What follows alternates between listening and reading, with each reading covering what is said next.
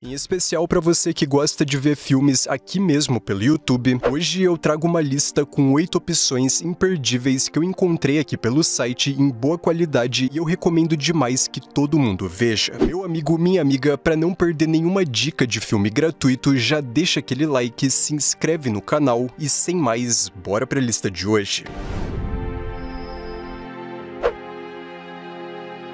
Fala aí pessoal, aqui é o Vincent e vamos começar com um filme cheio de reviravoltas e questionamentos morais. Segunda Chance acompanha o policial Andrés. E assim, logo na primeira cena, ele já tá sendo acionado pela polícia para resolver um caso de briga doméstica entre um casal. A princípio parece só um chamado qualquer, nada que o policial não tenha visto dezenas de vezes antes. Porém, existe algo específico dentro daquela casa que imediatamente chama a atenção do Andrés algo que definitivamente não deveria estar ali onde ele encontrou. Bom, a partir disso, digamos que o policial vai entrar num enorme conflito de interesses com aquelas pessoas. É um filme cheio de surpresas e atitudes bizarras. Sério, quando parece que não tem como aquela situação ficar pior, você percebe que tem sim, pois aquela briga é só a ponta do iceberg. O roteiro põe o espectador contra a parede o tempo todo e pergunta pra gente o que você faria se fosse você o policial e soubesse o que acontece naquela casa.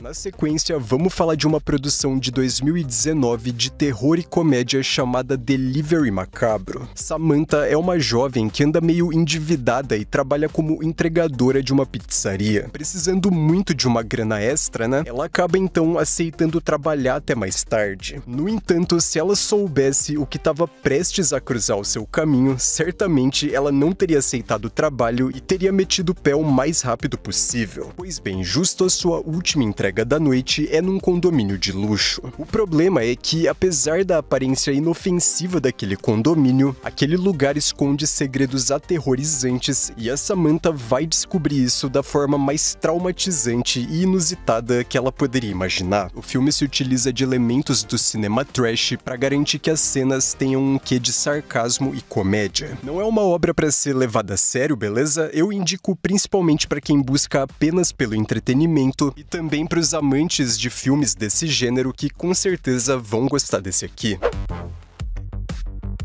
nosso próximo filme tem aquele tipo de humor bem pesado, bem ácido, que você tem que assistir já ciente do que vem pela frente. Viva a França! No fictício país Tabulistão, tudo que o governo local deseja é que o resto do mundo saiba da sua existência. E para isso, eles resolvem então chamar a atenção do mundo, só que de forma, digamos assim, um pouco extrema, né? Dois habitantes locais, Muzaffar e Feruz, são encarregados de viajar até Paris e cometer um atentado. Simples assim. No entanto, durante a sua missão suicida, algo acaba saindo completamente do controle e agora aquela dupla vai ter que se virar perdida num país onde eles não conhecem nada nem ninguém. Como deu para notar, o tema é bem delicado, fala de coisas sérias, mas assim, a maneira como o enredo se desenvolve é bem sutil e tem um propósito. É nada mais do que uma constante sátira dos estereótipos criados pela própria sociedade estiloso e intenso Os Fugitivos, tudo começa quando um casal acima de qualquer suspeita, interpretado pela dupla Salma Hayek e Jared Leto, começa a aplicar uma série de golpes pela cidade. Como os seus alvos seguem sempre o mesmo perfil e o modus operandi dos golpistas vem se tornando cada vez mais violento e chamativo, não demora para que essa onda de crimes chegue até o conhecimento da polícia. Quem assume o caso é a dupla Elmer e Charles, os personagens do John Travolta Travolta e do James Gandolfini. E tem início então uma obstinada investigação para tentar descobrir quem é que tá por trás daqueles crimes. Não é um filme de mistério, beleza? É sim um suspense policial com boa dose de ação e uma pitada de drama que garante ao filme um aspecto realista e comovente. Vale a pena destacar as atuações do Jared Leto e principalmente do saudoso James Gandolfini, que mesmo sendo coadjuvante rouba a cena toda vez que aparece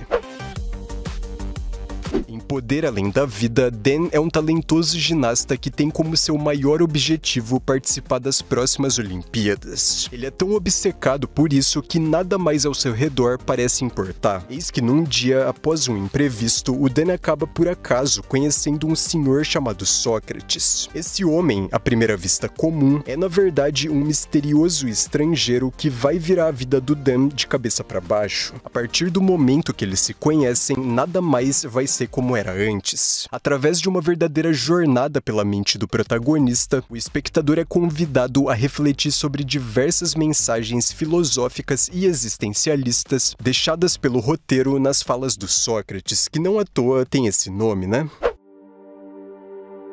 No autoexplicativo Matar um Homem, Jorge é um pai de família que levava uma vida sossegada, sem maiores problemas, porém, quando um criminoso se muda para o seu bairro, as coisas começam a mudar de maneira drástica. O seu novo vizinho, além de não ser nenhuma flor que se cheire, tem o perfil exato de um valentão de escola, sabe? Só que num nível muito mais perigoso e ameaçador, afinal de contas, não se trata de nenhum moleque, e sim de um criminoso. A sua chegada no bairro vai acabar totalmente com a paz do Jorge, que imediatamente se vê num beco sem saída, tendo que aturar um adversário capaz de cometer as maiores atrocidades que você pode imaginar. Um filme simples, porém impactante sobre provocações, medo e o limite no qual alguém é capaz de chegar. E apesar de ser lá de 2014, é pouco conhecido e chegou recentemente lá no canal da Netmovies. Quem ainda não viu, aproveita que vale muito a pena dar uma chance.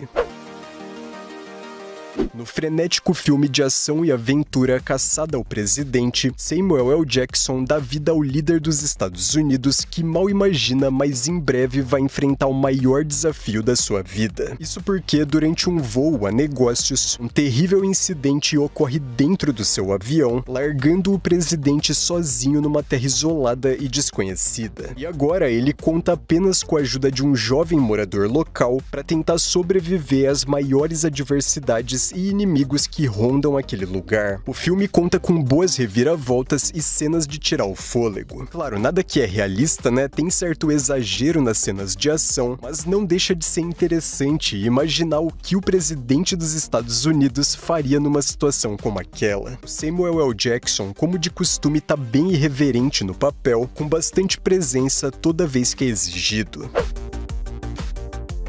não podia faltar um clássico na nossa lista. No oitentista e extremamente nostálgico Namorada de Aluguel, Ronald Miller, cansado de ser considerado o perdedor da sua escola, aquela coisa bem de filme norte-americano, né? Decide pagar para que uma das meninas mais populares do lugar finja ser a sua namorada. É claro que essa máscara criada pelo Miller, que finge ser alguém que ele não é de verdade, vai render situações constrangedoras e no mínimo engraçadas. Namorada de Aluguel carrega a essência dos filmes dos anos 80. Aqueles filmes que marcaram época na sessão da tarde no cinema em casa, que conseguiam cativar o espectador com a sua simplicidade e o seu humor despretensioso. O link para você assistir todos esses filmes completos eu deixei aí embaixo no primeiro comentário. Pessoal, segunda chance, Delivery Macabro, Viva França, Os Fugitivos, Poder Além da Vida, Matar um Homem, Caçada ao Presidente e Namorada de Aluguel. Quais desses filmes de hoje vocês já conheciam? Não se esqueça do seu like e da sua inscrição para ajudar o canal a chegar em 100 mil inscritos, beleza? Por hoje é isso, agora eu vou indo e até mais ver.